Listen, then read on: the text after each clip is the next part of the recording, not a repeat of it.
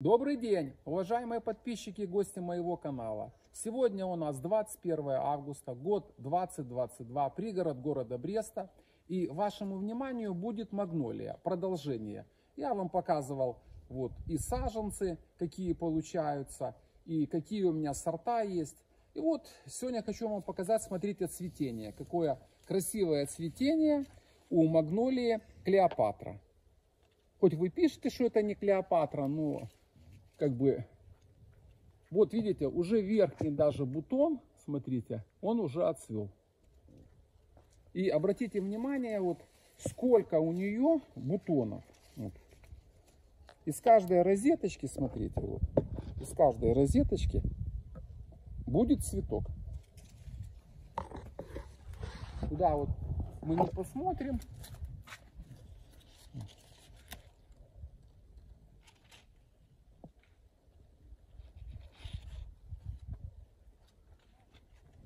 Ну, она вот, смотрите, у меня здесь замульчирована. Вот щепой. Просто, э, как бы у нас вот очень жарко было. Вот это сегодня у нас паспортно. А так тут и 30, и 34 было. А на солнце то тут и 50. Поэтому надо следить за тем, чтобы не пересыхали корни. Просто ваше внимание хочу об обратить. Ну, себя она как бы, говорю, как бы показала с такой стороны, что все зимы она прошла. Уже вот я вам ее показываю третий сезон. Ну, это медленно растущая магнолия, подчеркиваю. Видите, приросты буквально 10 сантиметров максимум. Это не более. То есть больше приростов нету, поэтому, ну, видите, вот такая где-то. За 2 с чем-то метра. Задавали вопрос еще, Э, вот туи, посмотрите, какие у меня. И спрашивали, на каком расстоянии она растет от туй. Вот я взял рулетку и вот сейчас я прямо вот замерю. Это 2 метра, друзья. Это 2 метра от туи она растет. И вот нормально развивается. Вот еще вам покажу магнолию свою дафни. Смотрите, здесь сразу по пути. Вот тоже какой у нее вид на урожай.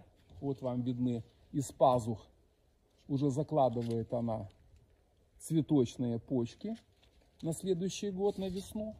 Тоже будет вот радовать своим красивым цветением.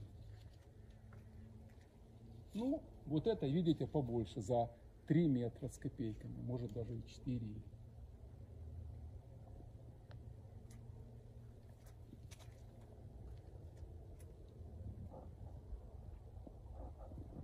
Вот еще вашему вниманию магнолия звездчатая. Она тоже медленно растущая. Задавали еще вопрос по поводу, э, какую вот магнолию там садить э, в Тульской области. Ну, я вот как бы из своего наблюдения вам порекомендовал бы вот посадить магнолию звездчатую. Вот. Тоже закладывает она уже почки на цветение. Тоже она медленно растущая, буквально вот 5 сантиметров, 6, вот такие приросты. Еще э, обратите внимание на сорт Кобус. Сейчас вам покажу, э, как у меня выросли саженцы. Э, кто наблюдает, будет интересно. Сорта Суланжа. Вот подошли мы к магнолии Суланжа. Я вам показывал, вот, как я делал материнские отводки горизонтальные. Вот что у меня получилось. Вот такие приросты. Приросты огромные, смотрите. Вот какие приросты. Здесь больше метра. Даже метр двадцать. Вот этот сколько. Но это ни о чем не говорит. Еще здесь метр. Какие тоже. Тут 90 сантиметров. В общем, вот такое у нее активное развитие и рост. Вот вашему вниманию показываю. Ну, а по поводу вот укоренения, ну, посмотрим там под осень, посмотрю, что тут укоренилось. Ну, еще такой момент. Для того, чтобы появились корни, имейте в виду, что здесь должен быть вот такой сырой грунт.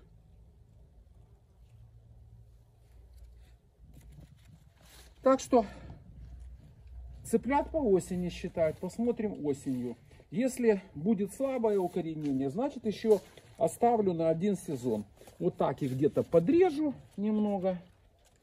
То есть сделаю вот такой вот как бы штамп. Подрежу их на зиму и пусть еще растут один сезон. Спасибо, друзья, за внимание. До новых встреч в эфире.